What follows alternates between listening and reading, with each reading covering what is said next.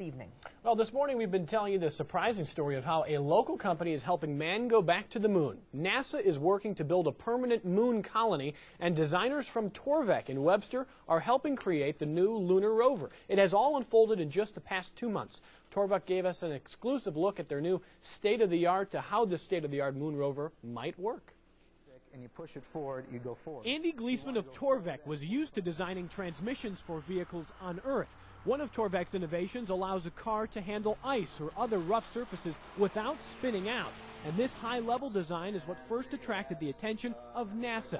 When the United States goes back to the moon in 2015, NASA hopes its astronauts will be traveling the lunar surface in a new moon rover, something that looks like this. For Andy Gleasman, it was a whole new design challenge. Now we're dealing with uh, moon, which is 1-6 gravity, packaging requirements, and a temperature differential in the shade and in the light of 100 degrees Celsius, which is over 200 degrees Fahrenheit.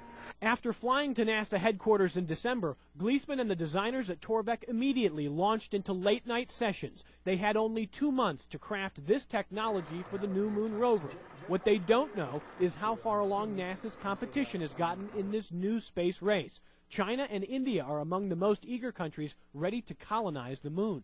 All I know is the number one priority in China is to deal with anything in space, to gather up as much technology, uh, to gather up uh, any kind of information they have from outside sources to move them along. But they're going to have their hands full. NASA declined to comment for our story and asked Torvec to keep the major details of the design quiet. They want this stuff uh, to be very, very secretive. Uh, they don't want their competition to know how they're achieving this.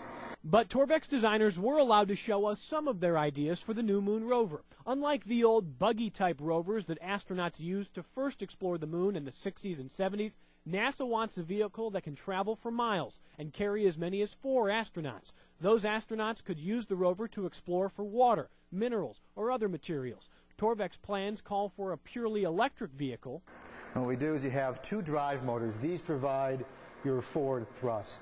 They've already exceeded NASA's request by creating a transmission that would allow the moon rover to run up to 15 miles per hour instead of just 12. These pods you see on each one and each one of those contains this transmission. Which controls the wheel. Which controls the yeah the speed of the wheel.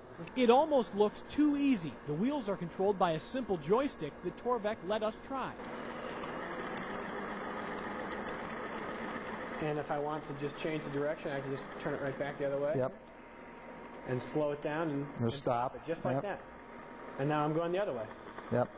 The astronauts would operate the rover standing up, and it would use a battery similar to the one you'll find in a laptop computer. When we visited Torvec's Webster facility, they were getting ready to ship the design to Houston, ready for NASA's inspection two weeks ahead of schedule. Andy says they wanted to send a message. Torvec can handle the job and the deadline. Any little hiccup in the beginning gets uh, bigger and bigger as the years go on toward launch. So everything has to be on a tight deadline, and they made sure that we, we were. Now, NASA has stated their desire to work with other countries to build a moon base, but it's not yet clear which nations will cooperate. Coming up later this morning, we're going to show you how Torvec came up with their artistic drawing that is helping convince NASA the moon rover could be a success. Uh, and real briefly, we should tell you also, I was corrected earlier, Neil Armstrong never rode in one of those buggies. When he was first on the moon, uh, he was essentially tethered to that uh, landing pod.